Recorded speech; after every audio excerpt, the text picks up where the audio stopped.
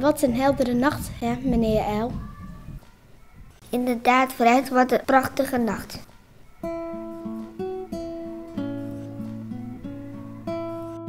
Hé, hey, wat is dat een mooie ster ineens.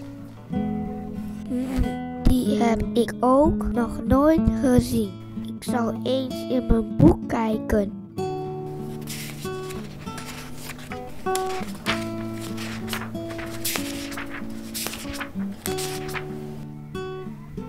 Het betekent dat de grote koning snel geboren zal worden. En er zal een goede koning zijn. Oh, echt waar? Wanneer wordt hij dan geboren, meneer El?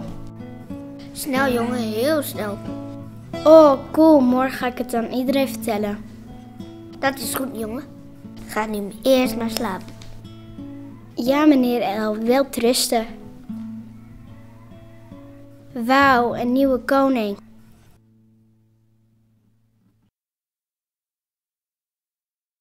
Hey, luister eens. Er wordt een nieuwe koning geboren. Hij komt al heel gauw. Meneer El en ik, we hebben gisteren de koningsster gezien. Inderdaad. Een koning, dat is geweldig. Maar als hij geboren wordt, moeten wij hem wel een cadeautje geven. Ik weet al wat. Ik ga hem mijn mooiste veer geven. En ik? Ik zal hem de lekkerste melk geven die er bestaat.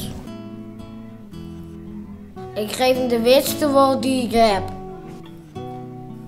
En ik geef hem tien heerlijke scharreleieren. Vrije uitloop heet dat. En ik dan? Wat kan ik hem geven? Ik heb geen mooie veren, ik kan geen melk maken en ook geen wol. Kan ik hem helemaal niks geven? Stil maar jongen, ik weet het allermooiste cadeau.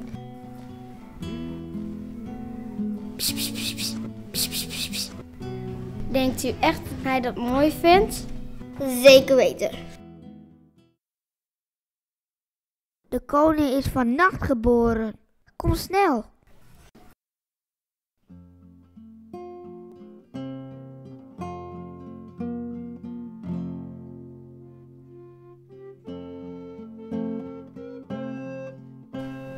Mijn allermooiste veer voor u.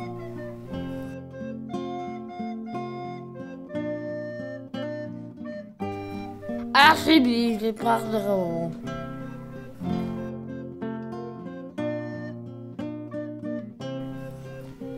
Melk voor de koning.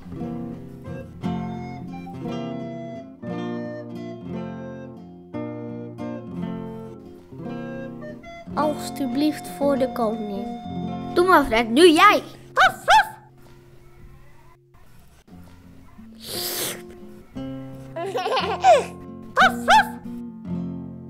Weten jullie wat ik tegen Fred gezegd heb?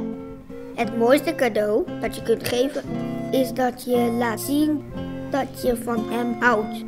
En zo is het!